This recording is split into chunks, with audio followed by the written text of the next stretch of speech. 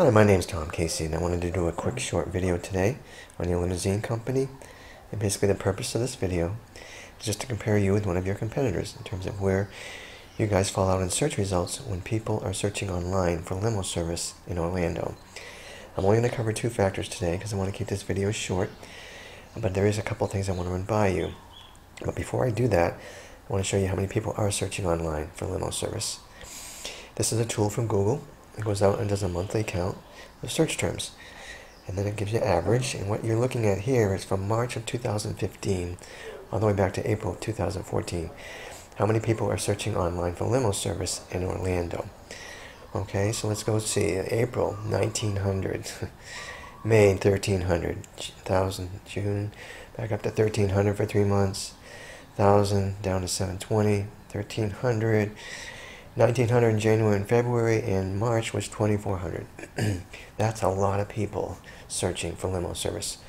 So I thought this would be a good exercise. So I went over here to Google and did a search for limo service Orlando. This is page one, right here. Let's see where I find you. You're over here. There you are.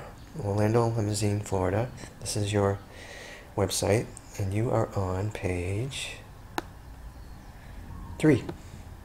Okay, so again, I'm just going to cover two factors today, but these are two factors search engines consider when they're doing rankings. Obviously, they consider more than two, but again, to keep this short, we're only going to look at two today. What I'm going to do is compare you with somebody on this page of Google using those two factors. I'm going to see if there's any differences.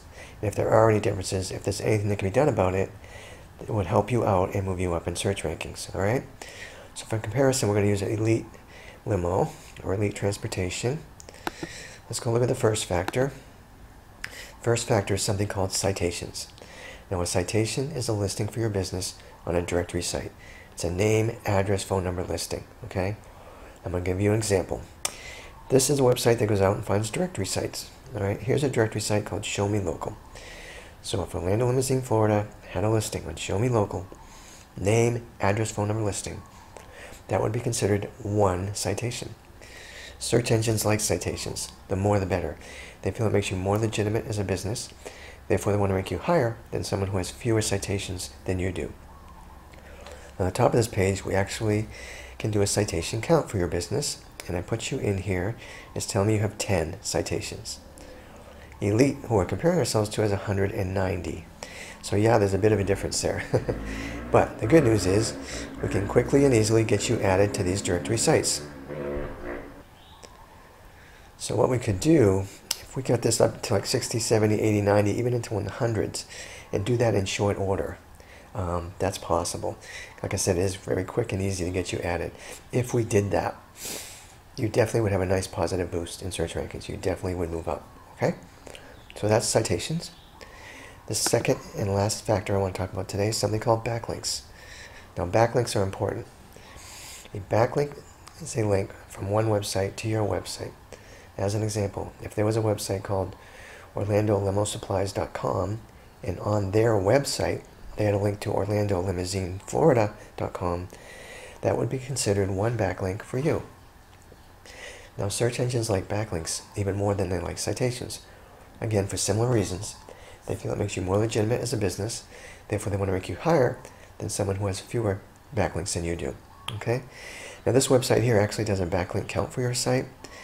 And the number we want to look at is unique active backlinks, this number right here. So it's telling me you have 20 unique active backlinks. Let's go look at Elite. They have 41, so more than double. Okay, again, there's a bit of a difference, but there's good news here too. We can add backlinks to your site. We don't need to add 40 or 20 probably get away with adding 8 or 10, and I'll tell you why. These guys are ranking, yeah, because they got this number 41, but this score is pretty bad. Link influence score is an indicator of how strong the backlinks are that are coming into your website.